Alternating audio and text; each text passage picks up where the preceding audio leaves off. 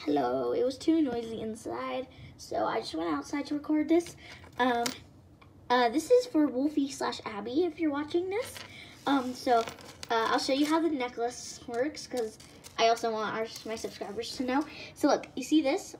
So I lost a cat that I lost an orange cat named Ferdinand. It wasn't exactly my cat, but it would always follow me everywhere, and it felt like my cat, and it, it I, I could I could understand it.